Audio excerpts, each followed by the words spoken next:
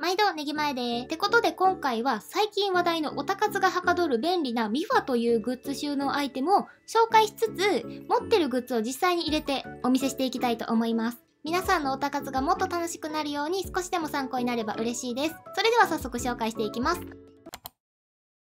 デコレーションポーチ。今ね、この2種類あるサイズ感。これがね、デコレーションポーチで、こっちがミニサイズ、こっちが通常サイズです。これはね、今私手元にね、まあ3色あるんですけど、これよりもっとね、カラー展開があります。お店に置いてる時ね、こういうのも入ったままだと思うんですけど、サイズもね、しっかりとここに書かれてます。トリカ入るとか、そういうのめっちゃありがたい。どっちのサイズ、ミニサイズでも通常サイズでも、ここにね、D リング、D 型のね、このリングがあるんですよ。ここにまたね、推しのね、ラバストとかキーホルダーをね、ぶら下げることができます。この作品のキャラを入れたポーチはこれみたいな感じで、目印でもいいし、もうこの推しだけ、この一人の推しだけを詰め込みましたっていうので目印にしてもいいし。これね、めっちゃ可愛い。で、なんかここにちょっとキーホルダーつけるの抵抗あるな、傷つきそうやなっていう人とかも、100均とかでね、なんか保護してくれるカバーみたいなのも売ってるから、そういうのをつけてね、合わせるとここに問題なくキーホルダーとかつけられるんじゃないかなと思います。まず通常サイズ、開けてみるとこんな感じで、ここにもまた写真があるんですけど、ペンとかもね、入るんですよ。こんな感じでペンを、まあ、普通にある、短くも長くもないペン。これ後ろのポケット入れて、まあ、若干ここが見えるかなぐらいのサイズ感。ペンとかも入れて持ち歩きたいとかだったらこっちの方がね使いやすいんじゃないかな。ここにねメッシュのこれがポケットになってるのででここ手を通しながら缶バッジをつけたりとか。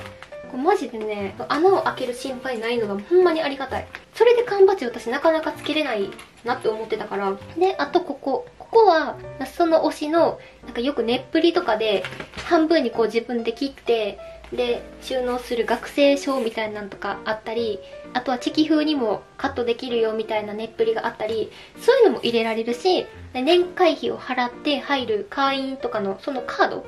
とかも収納できるようなサイズになってます。で手前はねこの透明になってるので小さめのアクスタとか入れて開くと推しがいる。最高。こう持ってて見える方内側じゃなく外側。ここのここにね中からこう指を通せるんですけど両方にこれ透明でね見づらくなってるけどシートがねサイドに入ってます。また別売りであるこのデコレーションシールがあるのでペタペタってデコレーションして入れてで推しのそのカードとかを添えてっていう。マジでねこれ可愛くてこのデコレーションシール。ちょポーチの紹介途中やけどデコレーションシールも色の展開がねすごいいっぱいあるんですよ。ポーチとかのカラー展開と一緒かな？ちょっとくすみがかったのもあったりでめちゃくちゃ可愛い。まあ推しカラーとしてこう王道であるピンクとか赤青とかもあるんですけどそれだけじゃなくってこういうシフォンベージュとかチャコールブラックあんまりこう今まで王道として出てこなかったカラーとかもあるのでそれもねすごい良かった。推しのその担当カラーが絶妙な色合いでとかだったらそれこそね自分の好きな色と合わせるのもいいしあとこういうちょっと推しカラーとかにそのあんまり支障が出ないようなっていうか使いやすいね色味とかをデコレーションしてもめちゃくちゃ可愛い後でペタペタ貼っていきたいと思います。ちなみにさっきペン入るよって言った方これ定規とかも入るのでキャラクターグッズだけを入れて歩くんじゃなくなんか学校とかお仕事とかに推しを一緒に持っていきたいとかそういう時にもめちゃくちゃ便利です。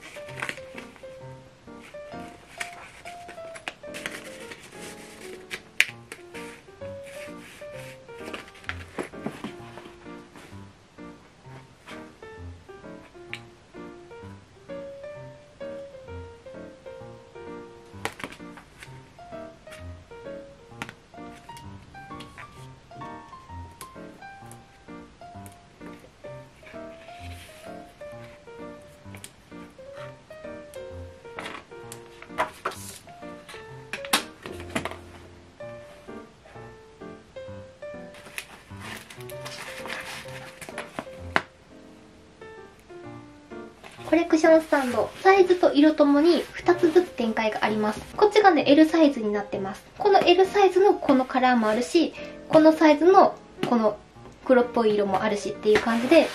でね、真っ黒っていうわけじゃなくて、すごいおしゃれな感じのチャコールブラック。こっちがシフォンベージュです。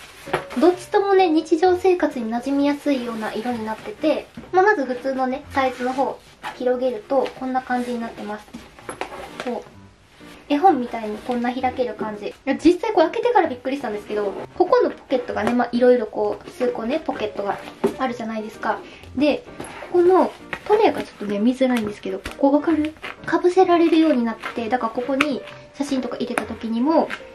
こうグッズがね、逆さまにしても落ちにくいっていうような作りになってます。これマジで感動した。ここはね、メッシュになってて、ここにはね、缶バッジを穴を開けるっていう心配なく、普通にね、さっと通すことができます。真ん中でね、ここまた縫い目があって、こう指を通せるような紐に、ね、なってるんですよ。ちなみにここボタンです。ここはキーホルダーとか、開くキーとかをね、ここにつけることができる。ここまで外れるわけじゃないんですけど、わざわざね、開くキーのボールチェーンを外してはめるとかじゃなく、ここのボタンパチッとね、止めるだけでスーって通せるからこれもねすごい便利。で次 L サイズ。L サイズも一応作りは一緒なんですけどポケットのこのね数がちょっと違ったりさっきは上下2段やったけどここ上にね左右のポケットとこんな感じで分かれてっていう。でここもまたメッシュがあります。さっきのとまた広げてサイズ感伝えると結構でかいですよ。この私の手と比べてもらうとでかさが分かると思う。これ今壁にねぶつけてるとかもなくここ壁に隙間があります。自立してくれるんですね。全体にこの開き切っても自立してくれるからあのオタ活でよく私はやったことないんですけどどっか場所を借りてすごいもうめちゃくちゃ可愛く祭壇を作るみたいなしてる方いるじゃないですか。ああいうのにもめちゃくちゃね便利。ちなみにこっちが L サイズ。でこれがねこっちのサイズで。大体のデザインがこういう感じであのダミーグッズと一緒に見やすい写真も撮られてます。推しがね、2次元でも3次元でも問題なくその、どの界隈じゃないとみたいな、そういう心配はね、いらないような、使いやすいアイテムです。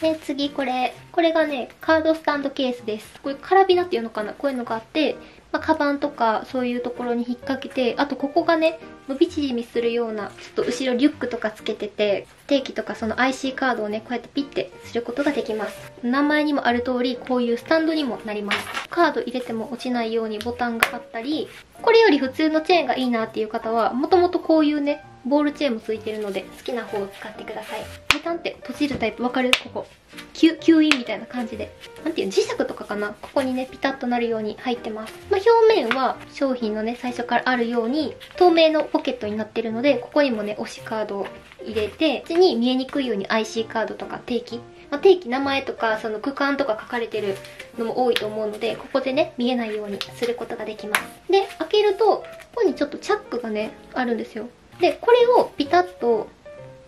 くっつけると A みたいな感じでこうやって立てることもできます。これがなかったらね、こういう風に置かれへんから、